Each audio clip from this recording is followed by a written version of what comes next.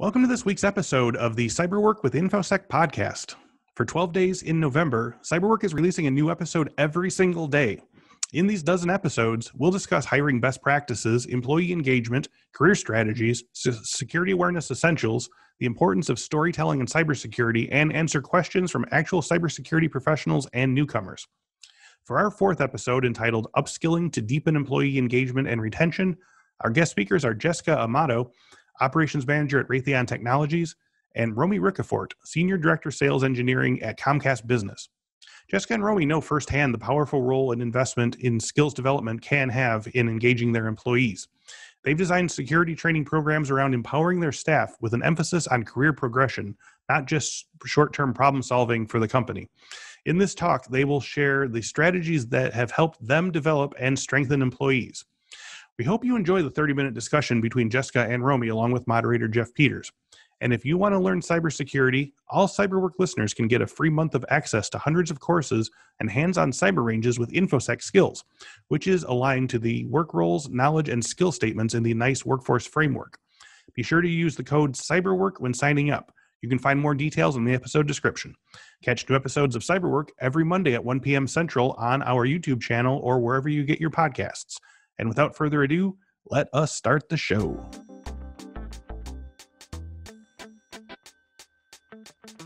Let's have each of you quickly share your role within your organization and just maybe give us a brief overview of, of the security and training and development program that you both manage. Uh, Romy, why don't we start with you? Oh, well, thanks, Jeff. And thanks for having me. Jessica, hello, virtually as well. Uh, I'm Romy Ricafort. I'm the Senior Director of Sales Engineering for Comcast Business's West Division. I roughly have about 100 employees uh, that focus on sales engineering and leadership for customers from small to medium businesses, the Fortune 1000, and then government and education as well. Um, as we think about the security and training and development program that I've put together here at West Division. It really is three different parts. Uh, the first is how do you get foundational about how do you do your role? How do you become aspirational and how do you find ways to be able to upskill yourself to be ready for higher level positions? And then number three, how do we foster an environment that allows for people to be curious and then to pursue what they feel is interesting when it comes to technology? Awesome, awesome. And uh, similar um, for your program there, Jessica? Uh, it is pretty similar. So, um, as an operations manager, I'm involved in workforce planning. So, that covers pretty much everything for the digital technologies organization related to staffing, hiring, retention, as well as learning, um, which includes a platform of experiential, similar to what Romy spoke about. So uh, from a digital technologies perspective, we are an uh, organization of over 900 uh, technical folks that are both supporting the business as well as direct programs. So there's a lot to be said there from a technical learning perspective as well as um, the other experiential learning opportunities that we like to provide, which supports career growth and development as well as retention. Awesome. Yeah. So let's dig into those programs a little bit. Um, you know, specifically, yeah, I guess they're they're they need to not only provide security and tech skills, but you also need to engage and motivate and you know ideally retain the talent within your organization. So I'm really interested in diving into those details a bit uh, around how your cybersecurity upskilling program is structured, and in particular, what has had the most impact when it comes to developing that more long-term employee engagement. Uh, we can start with you, Jessica. Certainly. So um, the the cyber component of our organization is actually critical in that we have several technical folks that are supporting classified areas. Um, and in that, we have to meet the DoD 8570 requirements, which InfoSec has been really uh, great in helping us do that. It's a foundational part of our program, um, allowing our folks not only to learn um, and grow their skills, but also to certify in areas that allow them to work in these areas. Uh, without those certifications, they wouldn't be able to work in the closed areas. So it's it's a really really critical component of both making sure that we have a low a learning and growth path uh, for our folks because that's important from a retention perspective, but also that we are able to foundationally build on that, leveraging our partners like InfoSec. Nice. And Romy, your experience with with your training program? Yeah, no, and and you know, I think you really touched on it when you talked about long-term employee engagement. And Dale Carnegie Training Foundation had a stat that 60% of, of employees will leave their company if there was poor training. And so it really does. You really do have to be thoughtful in one, as Jessica said, how do you become foundational in your role? How do you have everything that you need to outperform what you do and then how you actually are able to interact with your customers. But two how do you have a path a career path that allows you to look at hey if i wanted to become this type of sales engineer or if i wanted to be a subject matter expert in security per se here are the skill sets that i'm going to need past my role to be able to move forward to. And then again right we need to foster that environment where people can be curious, right? right? And, and really go after a consumption based model that they're interested in. I know how to do my role, I know how to be aspirational, but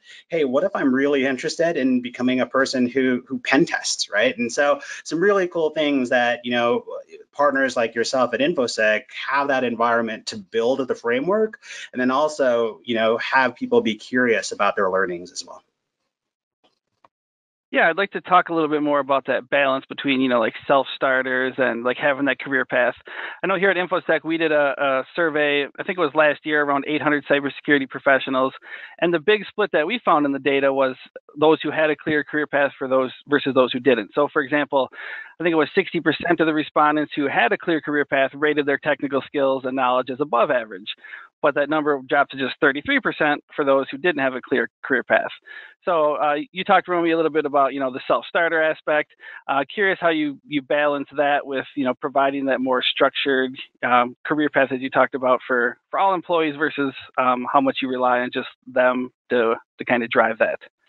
Absolutely, you you have to give them what their role is and what knowledge they need in order to be able to be successful at it. And you have to have that framework of this is what you need to know about networking, this is know what you need to know about security based on the type of customer that you would consult and interact with on a daily basis.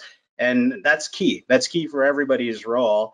Um, and I'm not surprised that you know the stat had said you know people who knew right what uh, the skill sets were required were able to be, you know, higher from a job satisfaction rate with those that were in a role and they didn't know, right? Hey, what do I need to know to be successful in this role? So, uh, but then again, right, you have to have that that way for them to be able to see what other jobs are out there. If I were going to want to build my career three, five years down the road, what are some of the things that I need to be studying now versus trying to obtain a role and having not started, you know, that studying?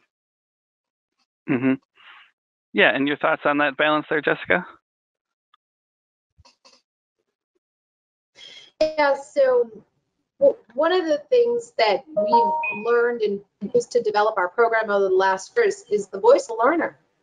So uh, one of the things we did was to really gain an understanding of what types of learners we had out there. I have learners that don't take anything away from virtual training. I have other learners that don't want to go to a virtual class, don't want a classroom, I don't have time for that, just give me the book. So really listening to the voice of our learner and understanding that um, through an employee engagement process really kind of elevated us to really inadvertently understand what other angst our learners had, whether it be the time it takes to do that and having time to break away from your program to spend that time learning. Um, it was recognition of the fact that we had different learners across the organization that, that evaluate and learn in different ways. Um, but it was also understanding how many folks out there in, in you could be in your career for 20 years and not still know what the next five steps or what the next five years look like. It may be a case where I really need to go through some experiences to understand where I go next. I really need to, to evaluate and have some more learning to understand what path I want to take because as you know in, in, in IT, um, or or security in either of those realms, you can go in six different directions. You can start out as a network engineer and become a cyber ethical hacker, but you have to know what the path is, and the path is not well laid out from an industry perspective. So we really need to help them stitch that together and, and provide those, you know, I keep talking about this experiential learning. It's providing those opportunities to use those skills that they've just developed in those learning in, in those learning opportunities. Yeah, to, to follow up on that, I, am curious if you have any sort of like structural or process advice? It sounds like you guys are doing some interesting things, but do you have, uh, you know, like meetings that are a, a structured approach, you know, besides kind of that, uh, I'm not sure how you got that data, whether it was by interviews or surveys or whatever, but uh, just curious, any advice for people who are listening who, you know, they kind of want to do similar things that you want to do, but they maybe want some rails so, so they know, you know, how to, how to follow along there. I can start with you, Jessica. So as you can imagine, with an organization of 100 people, a survey isn't necessarily going to be the results that needed. So I leveraged uh, the, the section managers, I leveraged individualized interviews. I kind of used a blended approach to collect the information and then really kind of looked at where were our gaps, where were the opportunities where we as the leadership team could expand upon that to make it easier for a learner or an individual to understand what path to take. So over the last two years, we've probably spent a lot of time really kind of building up the program um, in terms of providing those opportunities, but also the identification of those strategic learning uh, are those strategic career paths. So we even restructured parts of our organization that was so a sysadmin could actually aspire to become a strategic architect and actually see what that path looked like and what those roles were to get there. So we really looked at ourselves inward from a structural perspective.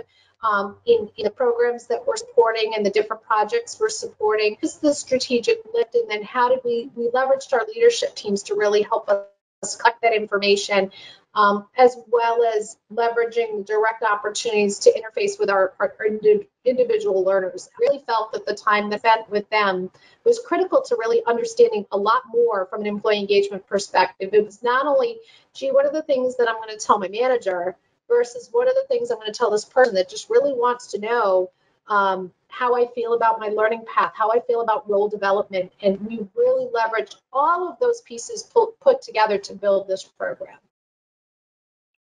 Yeah, awesome. And and, uh, and Romy, do you have any uh, kind of similar advice in terms of you know structure or process for people who are looking to implement this? No, and, and really comprehensive. Awesome job that you guys have done there at Raytheon, Jessica. Um, you know, we we took a similar approach and we worked cross functionally. You know, here uh, within the company of of getting HR to lean in, getting our L&D group to lean in, but we also took third parties into account as well and talked to them about, you know, where is your industry going and, and what are the trainings that your people are taking in order to stay up, right, with with um, the current technology trajectory.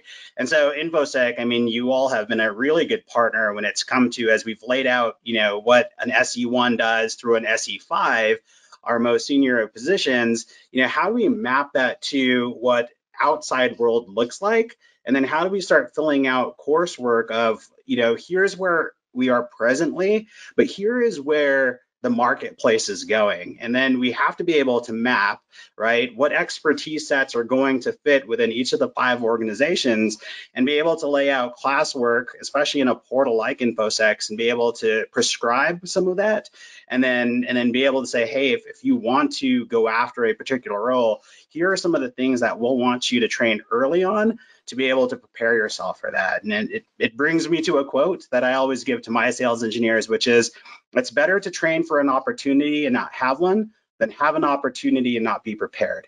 And so as leaders, we have to be able to give people that avenue to be able to study and know that, hey, as Jessica said, this is what it's going to take to get to, you know, this type of role in the company, starting at a systems anal analyst level, and then give them the ability to self-start and start doing that work on their own.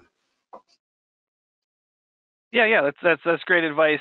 Um, I, would like to dig in a little bit to, you know, obviously this whole session is about engagement and retention. So, uh, you know, it's one thing to have that cybersecurity training and those clear career paths, uh, but curious if you guys have any other professional development opportunities, you know, that help contribute to that engagement and retention beyond cybersecurity training. Uh, we can start with you, Jessica. Uh, yes, we do. So we actually have an in-depth employee engagement program. And what that program does is, you know, folks walk into the door at Raytheon Technologies on day one and they go through new hire orientation, teaches them kind of all things you need to do to get through your first week. And then they start their on-job training. It might be some shadowing, it might be taking on some some quick opportunity depending on the situation. You know, some cases they might be waiting for clearance, so you got to give them some work to do.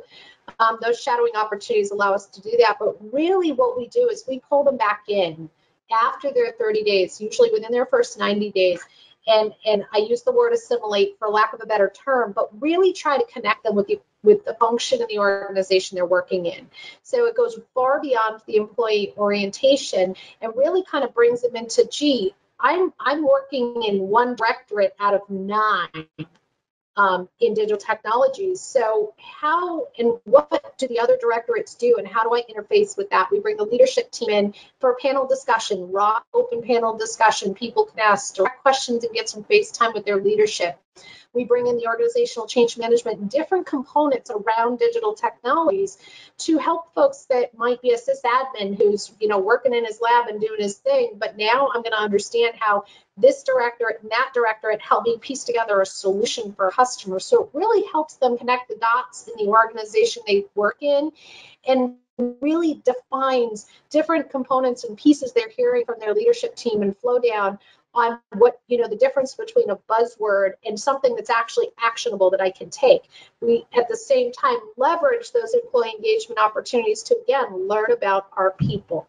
It's really a people first focus and understanding how do we you know keep the best and retain the best talent well, you do it through employee engagement. You do it through really understanding and listening to the voice of your people. And then also using that as an opportunity to provide these natural networking opportunities. So at Raytheon, you're coming through the door, you're learning your job, you're drinking from the fire hose. We're then taking you back and realizing this is a lot to take in. Let's help you understand the next piece to the puzzle. Let's help you understand what it means to drive your own career. And when you hear HR talk about that, and you know, I want to I pull a thread on something Romy said.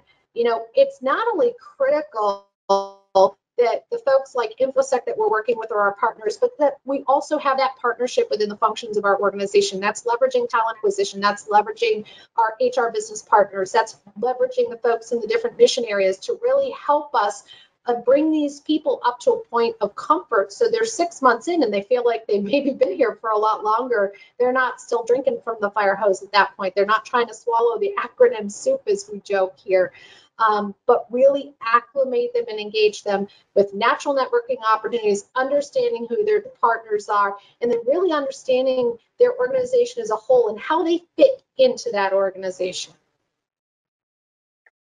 Yeah, yeah, that's that's that's great advice. Um, curious to hear your perspective on that, Romy. If you have a similar approach, if you do anything different. Yeah, you know, I mean, functionally, right, I, I, don't cross a lot of different um, organizations when it comes to the people that I build the programs for. But you know, when I think about sales engineering, there's two aspects of it. One is the engineering part, which we've been talking about uh, for most of this webinar thus far. For, but there's also what we call essential skills or aka soft skills. My my leadership team told me to ixnay soft skills and only call it essential skills moving forward. So uh, you guys let me know what you think. But you know the essential skills piece helps round out the sales portion of the sales engineer, and it really is you know what is your business acumen, financial acumen? How do you communicate with other people? Do you have presentation skills and do you have executive presence when you're in front of a, a Fortune 500 CX level type leader?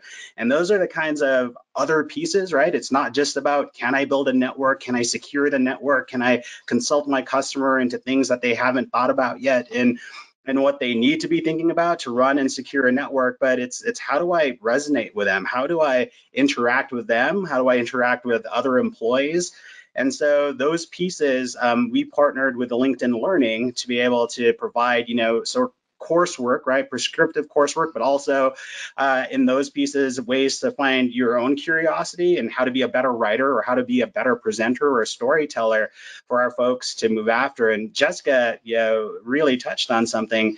We also take our sales engineers through something called Insights. And what Insights does, it's it's a very long survey that makes you look internally, but it gives you blind spots and it gives you the ability to know, hey, this is my natural tendency, and my natural tendency is is sometimes more to be very analytical or very you know outgoing or very you know not very data driven about you know the things that I'm going to go after, but I'm going to go after it with a lot of uh, zest and gusto.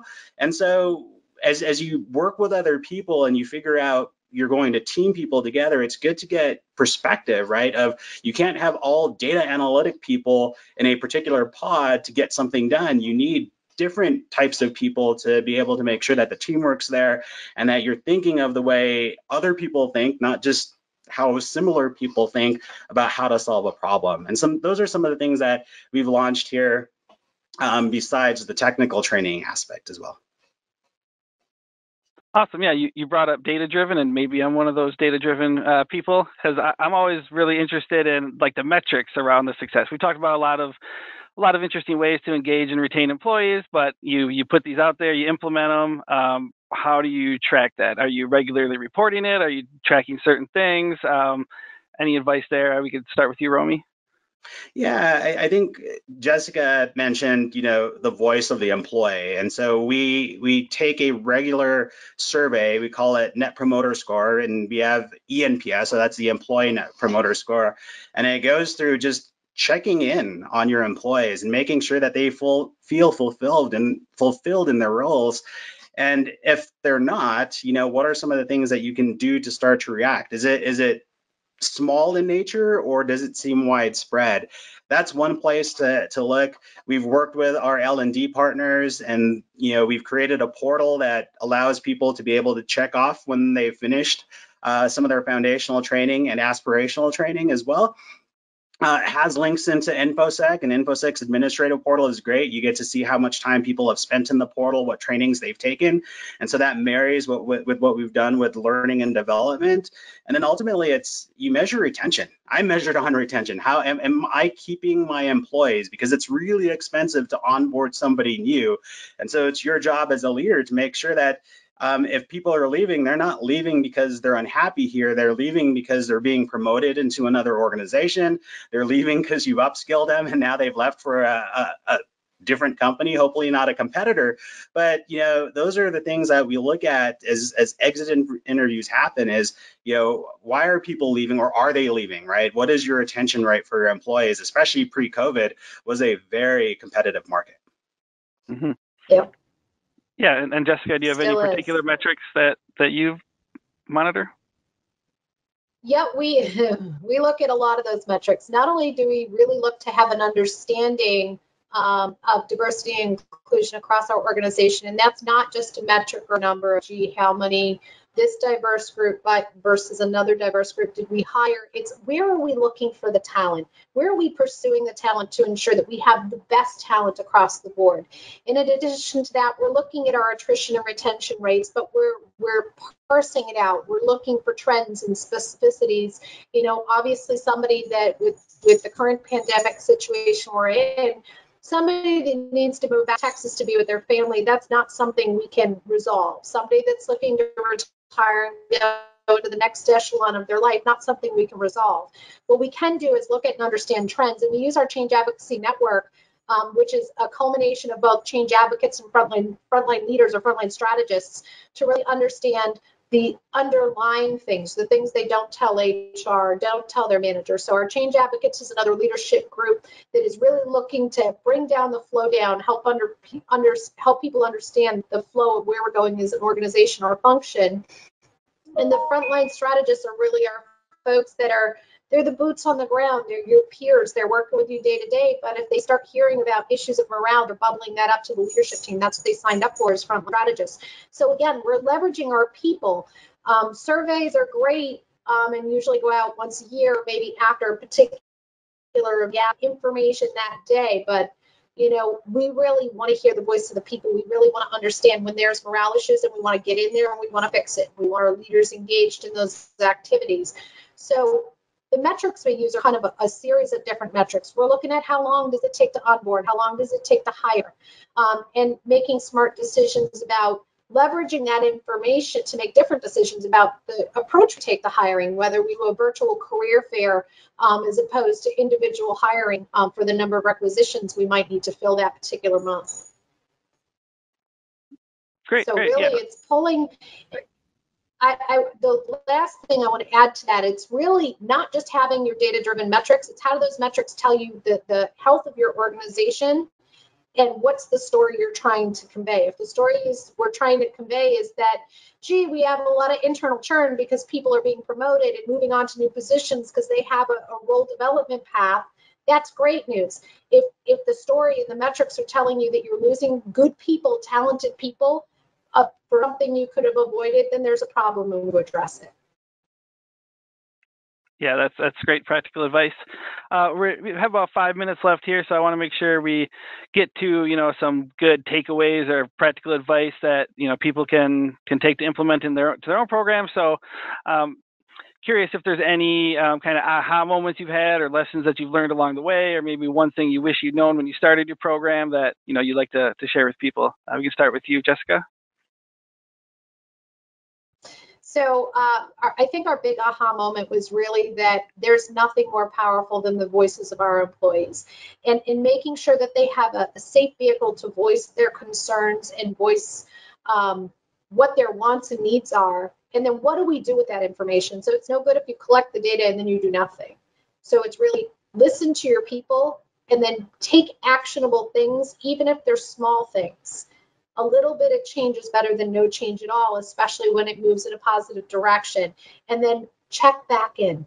So if you don't check back in to see if you picked the right thing or you took the right path, um, you're going to miss that opportunity. And those opportunities are going to be more powerful than what anybody's going to put down on paper.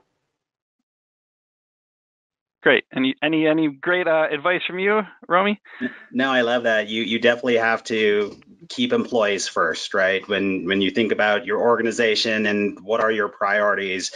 Um, you know, when the pandemic started for us, it was employees, then our customers, and then you know, let's make smart you know decisions for the business. But when I think about training programs and I just think about development in general, you know, the mindset I like to bring and the mindset I like to bring to my team is it's not a destination, it's a journey. And and once you figure out and and and I always challenge my employees, you finished this training and I go, well, what's next? You know, congratulations. I love it. That is amazing. But you've disciplined yourself to be able to take the time to, to get something awesome, right, underneath your belt that you can put on your resume or be great at your job at. But now that you've done that, what's next? Learning shouldn't be, hey, I did it, or like now I know security. Woohoo! There is no end. And and I think what people have to realize and is what leaders have to realize is that we always have to be planning for the future. We always have to be looking to see what's next, where the marketplace is going. Are we prepared for where the market's going? Because if we're not, then we need to start putting the things in place now to be able to compete in that market space. Because technology changes very quick, and if we can't pivot as an organization quickly with it, we can move to irrelevancy fast. And so I think as people realize that, hey, just learning is a journey, it's not a destination. Um, that's that's sort of not the aha moment, but a, a great moment to to continue to know uh, throughout your career. Great. Um, we just have a minute or two here, uh, but I wanted to touch briefly on some of the changes, you know, potentially due to coronavirus or the pandemic. You guys both brought that up. Uh, just curious if you have any um, anything that's changed with your program or any challenges or takeaways related to, you know, how obviously you're you're implementing these engagement and retention programs currently. Uh, Romy, want to start with you? Yeah, I'll make it brief since we don't have a lot of time, and, and I'd love to hear what Jessica has to say. Uh, we we had a program to work on essential skills. We were going to go out to each market and have each of the city's engineers work together, but we can't do that now with the pandemic. And what we've decided is instead of doing virtual classes of people who already know each other, it gives us now the ability to mix and mingle cohorts in different cities to get to know each other and see what the talent level is like in some of the other cities in our West Division. So I'm really excited about that and being able to bring other engineers who haven't gotten to work in the past together to work together now. So it's going to be a great journey. Um, lots of other things we've done since the pandemic, but definitely want to hear what Jessica has to say. So I think uh, one of our big wins this year um, in terms of what we changed in, in, working through the program is we were able to actually carry out a full internship program with uh, 90% of those interns um, being remote. And with a lot of fear, several were afraid the intern program would be canceled, much like their peers.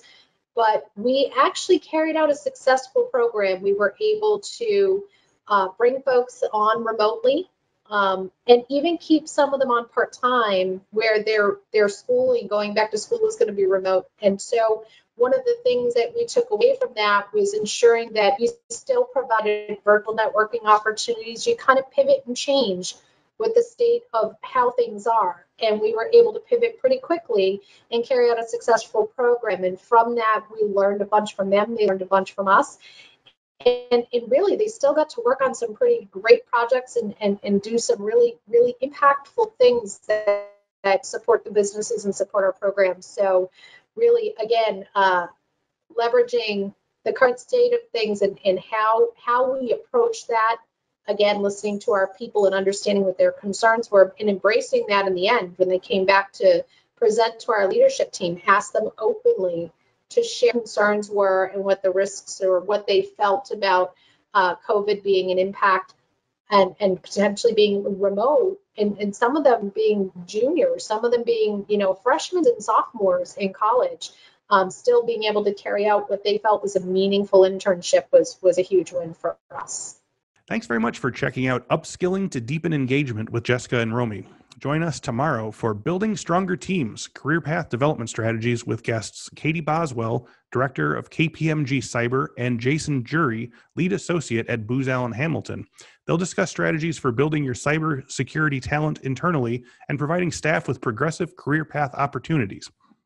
Cyberwork with InfoSec is produced weekly by InfoSec and is aimed at cybersecurity professionals and those who wish to enter the cybersecurity field. New episodes of Cyberwork are released every Monday on our YouTube channel and on all podcast platforms. To claim one free month of our InfoSec Skills platform, please visit infosecinstitute.com slash skills and enter the promo code CYBERWORK, all one word, all small letters, to get a free month of security courses, hands-on cyber ranges, skills assessments, and certification practice exams for you to try. Thanks for listening, and we'll see you back here tomorrow for more Cyberwork.